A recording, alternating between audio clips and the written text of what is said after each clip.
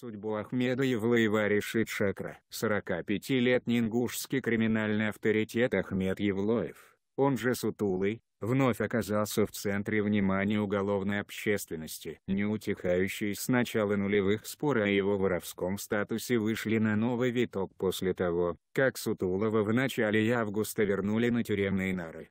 По нашим данным, уроженец Ингушетии Ахмед Евлоев был коронован в Москве в 1996 году. Его крестным отцом называют Мираба Бахию, ближайшего друга и сподвижника лидера сухумского воровского клана Мираба Джан Гвиладзе. Получив признание как вор, Ахмед волею судеб оказался в Казахстане, где был привлечен к уголовной ответственности. С этим периодом жизни Сутулова связаны его главные злоключения, последствия которых он испытывает на себе по сей день. В зоне, где сидел Сутулый, как и в большинстве исправительных учреждений Казахстана, царил произвол администрации и ее пособников. В отношении представителей отрицательно направленной группировки осужденных со стороны лиц, вставших на путь исправления, могли применяться методы сексуального насилия. Сутулый, при этом, как утверждают злые языки, на положение в лагере никакого влияния не оказывал.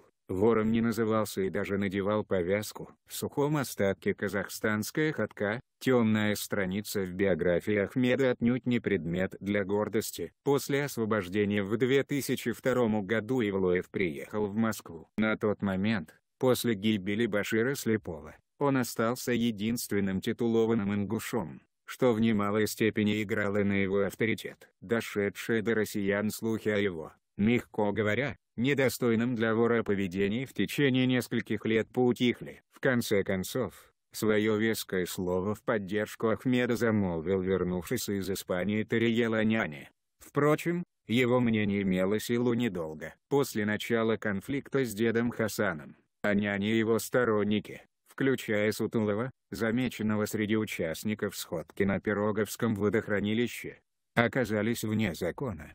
В матросской тишине, куда Ивлоев попал в сентябре 2008 года, у него сразу возникли проблемы с признанием. Очевидцы помнят, как погрустнел Ахмед, увидев в оперчасти пришедший по его душу прогон, подписанный 25 дедовскими ворами, включая Япончика, Печугу, Вагона, Воскреса и других, в котором ясно давалось понять, что Сутулый, не вор. Всего за время той отсидки по Ахмеду было три аналогичных бумаги, в том числе по Нижегородской управе, где он отбывал свой двухгодичный срок.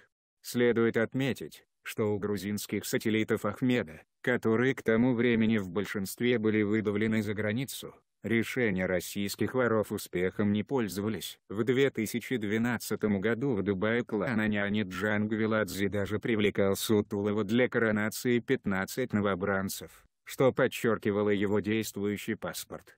Таком полуподвешенном состоянии Ахмед пребывал до февраля прошлого года, пока вновь не угодил в Москве за решетку. Точку в его вопросе должен был поставить Сергей Асатрян, который в 2008 году был в числе дедовских неспровергателей Ахмеда. Однако, вопреки ожиданиям бутырской администрации московских коллег Асатрина-младшего, суд улыбливым решением Сергея был восстановлен в правах.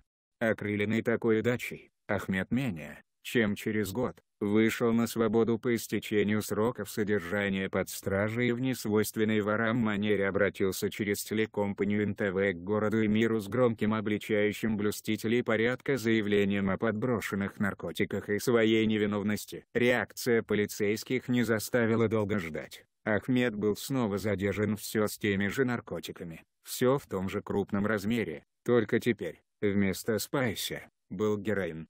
Впрочем, ответ полицейских на скандальный телеэфир оказалось не самым худшим, что пришлось поженать Ахмеду. Положенец Каширского СИЗа, куда поместили Сутулова, Расул Абазинец отказался пропустить его прогон, тем самым, не признав его, как вора. Все дальнейшие попытки Ахмеда повлиять на ситуацию равно, как и звонки Жени Веселого в его поддержку, успехом не увенчались. Воры в законе Егор Уфимский, Гия Свердловский, Геворик Нефтекамский и Тенго Питерский в письменной форме подтвердили, что Расул пользуется их доверием и все решения, исходящие от него, согласованы с ними. Говорят, что в своих формулировках воры в отношении Ахмеда еще проявили толерантность, что, дескать, по нему должна быть совершенно другая бумага, которую пока придерживают, чтобы не будоражить спецконтингент. Основные претензии к Ахмеду – это казахстанский козлятник и конфликт с Гевориком, имевший место в 2013 году. На связь с Расулом выходили старшие асатряны Каха Парпалия, которые в силу разных причин хотели бы поспособствовать Ахмеду, но пока в этом не преуспели. На днях о проблемах Сутулова на Пресне откричали Шакра. В ближайшее время он должен сообщить о своем решении через адвоката. По-воровски, вопрос Ахмеда нерешаемый. По слухам, Мирабы, Джангвиладзе и Бахия предварительно подготовили для этого почву. Что касается Ахмеда, говорят, он возмущен, что его судьба целиком зависит от Шакра, как будто других воров нет.